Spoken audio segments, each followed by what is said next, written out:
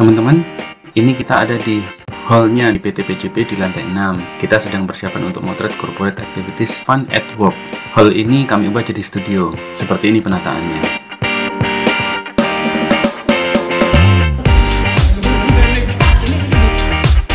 Ini satu aja ya,